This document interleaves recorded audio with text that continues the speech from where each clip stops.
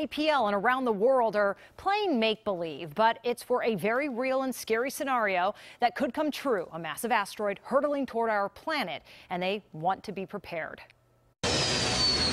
Imagine an Armageddon type scenario like the one that played out in the 1998 science fiction film, where NASA tries to stop a gigantic asteroid on a collision course with Earth. In case of a, a real threat. That's what a group of NASA scientists, engineers, and astronomers from around the world are talking about in Washington, D.C. this week at the sixth annual Planetary Defense Conference.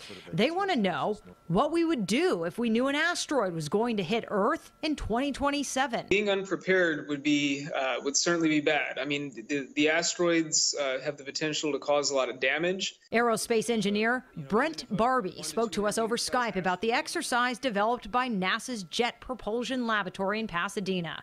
It describes how a 100 to 300 meter asteroid has a 1% chance of impact in eight years.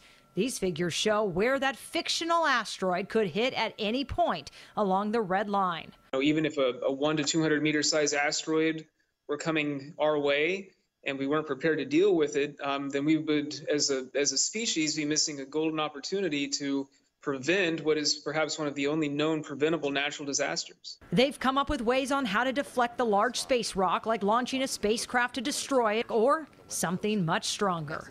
We have a little bit less warning time. Um, we can also use a nuclear device. These NASA scientists will be studying a much more real situation in 2029 when an asteroid called Apophis, named after an evil Egyptian spirit, is going to make a pretty close pass by Earth.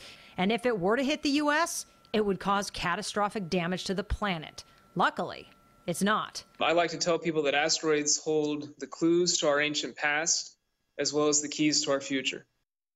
All right, and just one reason this drill is so mm. important 15 years ago, they believed the asteroid that I just mentioned, Apophis, was actually on a collision course with Earth, but new data proved differently, of course. Last year, President Trump talked about creating that Space Force, which, if that becomes a reality, of course, that would play a role in defending Earth from an mm. incoming asteroid. Wow. Juan Sharon. It's a good thing it's just a scenario, right, Jazz? Yes, so, so far.